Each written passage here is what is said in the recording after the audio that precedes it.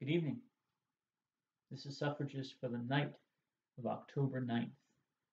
We continue our reading of Paulo Coelho's Warrior of the Light, page 68.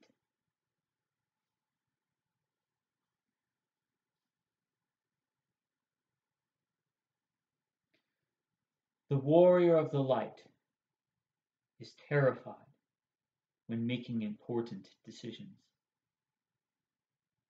This is too much for you, says a friend.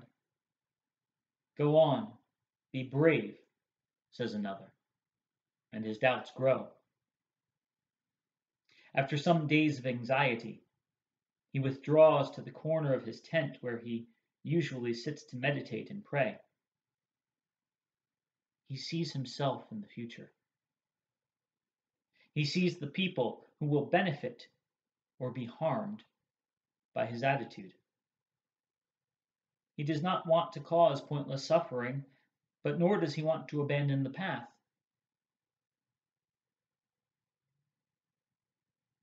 The warrior allows the decision to reveal itself.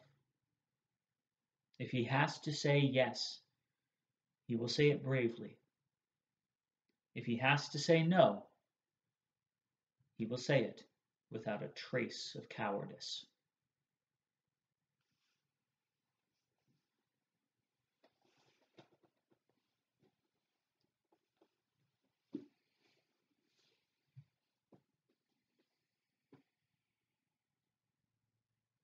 Holy God, holy and mighty, holy and immortal, have mercy on us.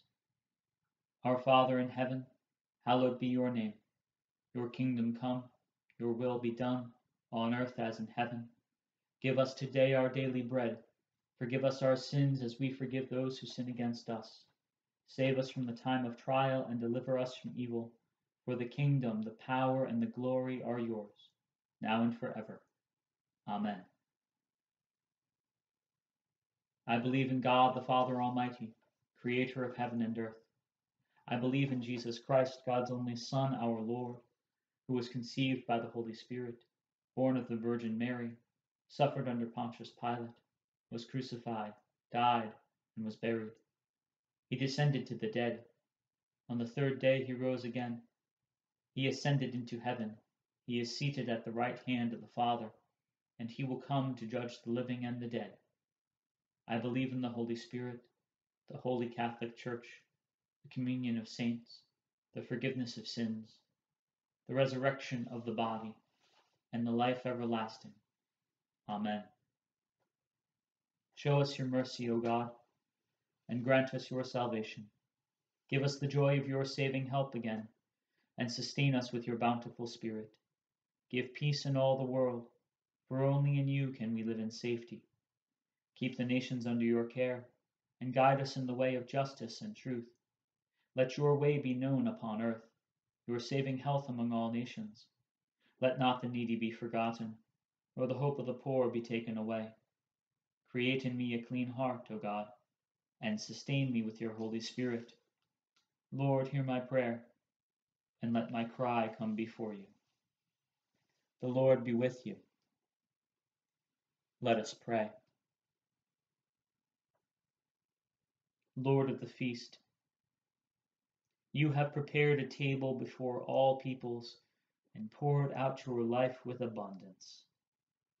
Call us again to your banquet. Strengthen us by what is honorable, just, and pure, and transform us into a people of righteousness and peace. Through Jesus Christ, our Savior and Lord. Amen. Keep watch, dear Lord, with those who work or watch or weep this night, and give your angels charge over those who sleep. Tend the sick, give rest to the weary, bless the dying, soothe the suffering, comfort the afflicted, shield the joyous, and all for your love's sake. Amen. Let us bless the Lord.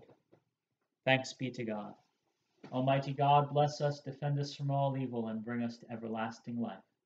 Amen. And the peace of Christ be with you always.